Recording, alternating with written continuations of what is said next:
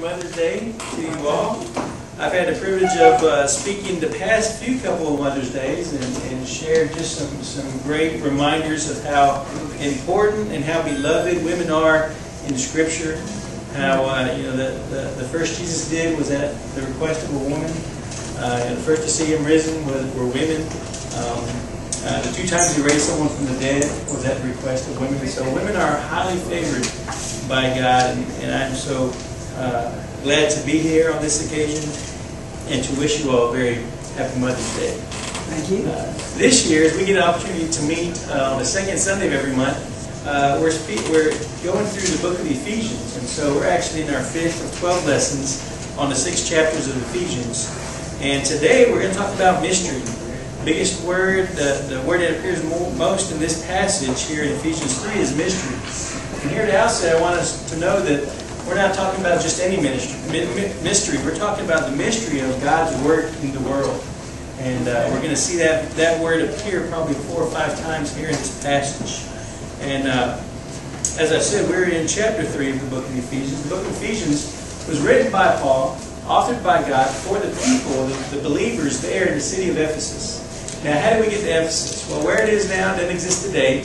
But uh, if we were to start on the mouth of the Mediterranean in Spain, and kind of uh, land hop from from east to, from west to east. Uh-huh. We go from Spain, jump over, and now we find ourselves in Italy. We jump over the next peninsula, and we find ourselves in, in the Greek islands. And if we go one more time, we find ourselves on the southeastern end of Europe, on the coast where uh, the city of Ephesus is. And just to remind us again, if we're in the city of Ephesus, it's a port town. If we look east at, at the at the Mediterranean, we're going to see most closely to us the Greek islands. And so that's the Aegean Sea. Uh, all those uh, all those Greek uh, stories and myths and all those come from that part of the world uh, there in the Aegean Sea. And so this was a very uh, important town, a very well-known town in the Greek world. Um, they were also a center for uh, learning and culture, and, and, specifically, probably most noted for their religious centrality for false worship of the goddess Diana or Artemis, depending on what language you're using. And um, actually, the temple to her was one of the seven wonders of the ancient world, roughly the size of an indoor football field. 160 uh, 60 foot tall columns, six feet wide at the base. And so uh, God used uh, this book and the person of Paul, the world's first missionary, a traveling evangelist, and, and starter of new churches, to come to this area and start this church. And as a result, that religion would dissipate, that, that false religion, and uh, would eventually uh, disappear as Christianity rose there, and uh, eventually that town itself would also disappear. Um, but this is the city of Ephesus, and the occasion or the, the purpose of the, of the writing was the believers there in Ephesus, the city of Ephesus. They had believers there that could not get along. Can you imagine that? Cannot get along. And so for them, and for us, God had this book written to teach us how to get along. And it's more than just uh, uh, simple do's and don'ts, like, you know, on the trip, how to get along is usually stop touching her, stop touching him. You know, at the dinner table, it's talk nice to your brother and sister. Stay out of your brother's room. Stop doing that. Well, those are good kind of directions, but we're going to see more of a, a big picture idea of why and how we need to practice getting along better with with our brothers and sisters. And just as a review, we learned in chapter 1 how God has blessed us in every spiritual blessing. In other words, the salvation we have is what God gives. It's not what we earned ourselves. In the second chapter, we saw this first, you're saved by grace. Uh, not of anything you do is a gift of God. And so God gives salvation. But not only that, in the second chapter we see, as he tells us, God was wanting to bring two, make two into one, because here in Ephesus you had uh, people who followed Jesus who were Jewish, and people who followed Jesus who were non-Jewish, and they couldn't get along. And so he said he was making two one, and he also talked about one hope, uh, one spirit. And, uh, and so God not only saves us, He gives salvation. God only also gathers His people. But then our lesson when we get to chapter 3 is the big one. It's the one that really is going to ground our understanding of how to live right with others. Because you see, if we live on just our salvation, we might kick back and think, well, I'm saved, I'm good, I'm done. then we might not be mindful of doing other things for the Lord. Or if we're maybe too uh, too much tunnel vision on uh, the, the family that God has gathered us, because God gives salvation and gathers His people. And we might be too uh, narrowly focused on our church or our home and not seeing the other believers and the other non-believers that need us still to work in them. And so this third idea is central. God not only gives salvation, God not only draw, uh, gathers His people, but He glorifies Himself in lifting His people up so that they may glorify Him. I'll say that again. God glorifies Himself when He lifts His people up so that they may glorify Him. So what does that mean for us? Well, historically, Christians have always said the chief role of mankind is to glorify God. And so that grounds everything we do. If, if we don't like each other, but we realize we need to glorify God, then we can get along. If we think there's something that just is unresolvable, and we get out of our own apprehensions, and look at it as something we can do to glorify God, then we can start to grow. And that growth is really what God wants. And so, and so the three things we see is God glorify, uh, God gives salvation to His people. God gathers His people. And God glorifies Himself through His people. And just the last thing on Mother's Day, that kind of reminded me of Mother's Because mothers, they're always giving of themselves for others, right? And sometimes the one that gathers, that gives the hug or that holds their family together is mother. And then last of all, the one who's given up everything so they can lift their child up to glorify their kids. And kids, we all know when you live right, you're either going to honor your family, glorify your family. And, and so it, it's the same idea as we see God's ways are not only good and right, they're also the model for everything we do and all the relationships we have, even for the great mothers that we have. Well, like I said, this lesson is going to teach us about getting everything right by not getting stuck in our salvation, not getting too narrow focused in, uh, in, in our small fellowship or our homes, but being mindful that God wants us to be used to glorify Him. Paul's going to show that to us. And 3P, uh, 3 and 3 is what's going to show that for us. Three P's and another 3P. So it's kind of six things, sometimes it's easier to say two sets of three.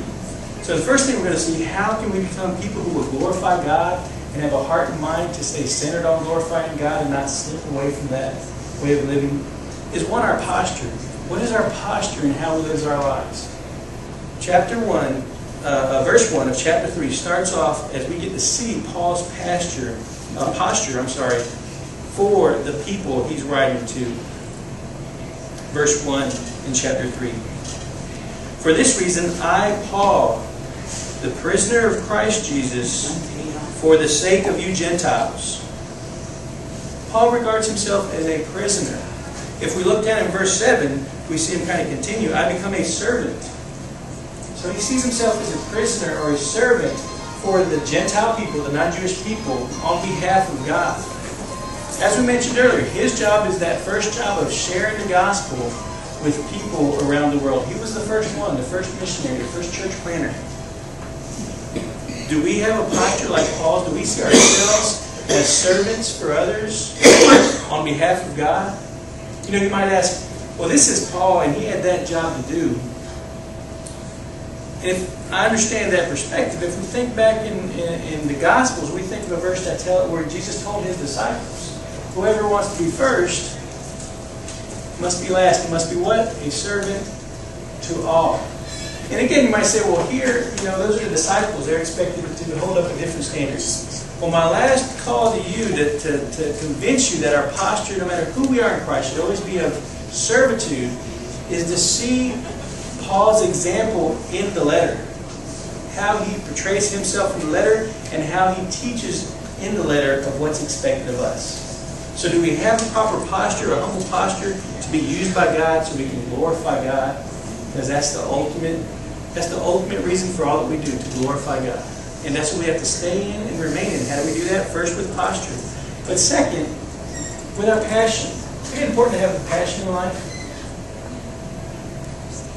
So many people, so many times, lose passion. We see famous people uh, go through trouble, go through retirement, and come back from retirement because they have their passion, they lost their passion. They have their passion, they lost their passion. Well, we have a passion. Or maybe I should say we have the passion. The passion of all passions that should never grow cold. And that's the passion we have for the message of God. And we see that in Paul as we look in verse 2. Paul says, Surely, talking to the Gentile, uh, talking to the, uh, the believers here, surely you have heard about the administration of God's grace. What's grace? The favor of God that we don't deserve.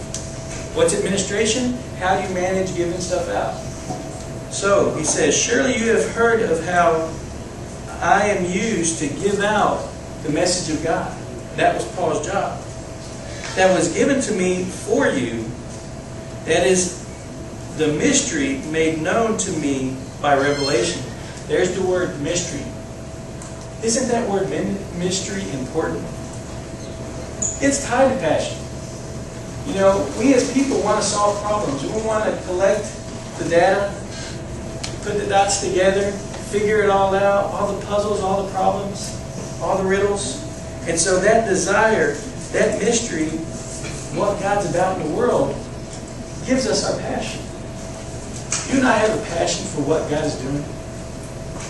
We say, God, where are you today? How do I get close to that? And how do I live that out in my life? That's the passion, the mystery that others don't know. Our passion as believers to know that is the focus we have. That's the passion we should have. In reading this, because Paul is about it, in reading this, then you will be able to understand my insight into the mystery of Christ, which was not made known to men in other generations as it has been revealed by the Spirit of God's holy apostles, the Spirit of God to God's holy apostles and prophets. This message that we have, the passion, a passion for the gospel and sharing the gospel, is something that has not always been around. If we go back in this time, we're talking about soon after Jesus' death. Before that, we have Jewish people who have walked with God in the Old Testament. But they haven't got the, the right understanding. They haven't got the right passion. Because they believe, you know, this Messiah, this uh, Christ is going to be an anointed deliverer. He's going to deliver them, they think, to political prominence. That their kingdom is going to be strong and powerful. And it's not really got anything to do with any other kingdoms. They forgot the Old Testament passage when God told Abraham with the promise, I am going to bless all the world through your seed. And they took it for themselves. That's what we can't do. We have to remember we're for glorifying God, not to get stuck in the fact that God gives us salvation. Remember those three G's. God gives salvation, but we got to be we got to know more than that. We got to remember God gathers His people into one people, and God glorifies Himself. And we got to live in that glorified, knowing that God's going to use us to glorify Himself. By one, having a humble posture. By two, having a passion for the gospel. And three, understanding the privilege we have. Because that message was not always around. But today, as he's talking to these people, they know what that mystery is. What is that mystery? Verse 5 tells us, which was not made known to men in generations as it was has been revealed by the Spirit of God the, through the apostles and the prophets. This mystery is that through the gospel, the Gentiles are heirs together with Israel, members together of one body, and shares together in the promise of Christ. The Gentiles were left in. Remember we talked about how the Jewish understanding was wrong? We have the right understanding. Jesus came to save all people. And that even, remember he's talking to Gentiles, Ephesians, even you, as a non-Jewish person, can be an heir of the things of God, can be a member of the body of God, and can partake in the promise of God. That's the part we play. That's the part we, have. we have a posture of humility. We have a passion for the gospel. We have a part to play as we share with others. We're reminded of that again when Paul says in verse 7, I became a servant of the gospel by the gift of God's grace given to me through the work of his power. Isn't it interesting that this phrase, the gift of God's grace given to me, is not associated here with salvation. The gift of God's grace given to me, Paul puts here as where he got his position of servitude. In other words, along with his salvation came his position in the family of God, which was one of serve one another. And we've heard that. That's why that call is also to us. Serve one another. In other words, we're saved Not just to be saved, not just to be in the family, but we're saved, remember, always and only to glorify God. Paul was saved to glorify God. We are saved to glorify God. That's the part we play. Reading on, it says, Although I am less than the least of these, of all God's people, this grace was given me to preach the Gentile, to the Gentiles the unsearchable richness of Christ and to make plain to everyone the administration of this mystery, which for ages past was kept hidden in God who created all things. So the part we play in sharing that gospel that is our passion is that we share so that people may hear it. It says to, proclaim, to preach the gospel. That word means to just proclaim, to let it be known out there. But to have a little more care because it says not just to preach it, but to make it plainly known. You know, if we've shared Jesus just to put it out there, we haven't shared enough. Because our job is also to make it plainly known. Make it available to folks. Care and live caringly with them so the gospel is understandable. That's our part to play. Why is that important? Why do we need to stay humble? Why do we need to have a passion for Christ, understanding the privilege of this time that we have to share the gospel? And why do we need to take part? Here's the most important part of why glorifying God is not a suggestion, not a hopefully one they can get to, but an expected command of God or an expected responsibility as believer. It says in verse 10, his intent, God's intent, was that now, through the church, this is the first time we've heard church here in the passage, through the church, the manifold wisdom of God, the multi-layered, amazing, great fullness of the knowledge of God should be made known to the rulers and the authorities in, in the heavenly realm. Made known to who? The rulers and authorities in the heavenly realm. To the evil, we've seen that phrase before, it appears later in a well-known verse in Ephesians to the evil entities around us. It is God's expectation that His church would speak God's truth to evil around us. Very interesting. It doesn't say that it is speak to the believers. Why not? Well, He's already said our, our position is to share. But also because when we speak goodness and truth that expels the darkness, then that's going to draw people as well. So when we share, we're telling people about Christ. When we live right, we're living right in the face of evil, and God will use that to glorify Himself. And the most important catch here is the very next phrase. This is in accordance to His eternal purpose, which He accomplished in Christ Jesus our Lord. He is connecting the responsibility or His expectation that the church will live in a way that speaks of God's glory before evil compared to the glory of what he's done in Christ. I'll say that again. God expects the church living right and showing God's glory in the midst of evil. He expects that to coincide with the glory of God and all he did in Jesus. He's going to put us on this display. We're the proof of all he is. We are the one that he is lifting us so that we can glorify himself. That's why we can't just remember that God gave salvation to us we can't just remember also that He gathers us up as His children. We must remember that His ultimate meaning is to glorify Himself through us. And just like Paul, that, that gets us ready not to just take salvation, but to take our role to be part of the church, to dispel evil by living right. That's a big deal, but it becomes possible in the next phrase. In Him, through faith in Him, we may approach God with freedom and confidence. How can we do so much? How can we maintain a posture? How can we love and always want to share the gospel? How can we live that hard life of, of in the midst of darkness, living right? I mean, we weren't perfect when we came to Christ. We're not perfect now. How can we do all that? Because this verse says, in Him and through faith in Him, we approach God with freedom and confidence. The answer is, we have access to God. You know, if the game is hard, guess what? You can talk to the coach. If you mess up, guess what? You can talk to the coach. If you're down and you don't think you can do it, the coach will lift you up.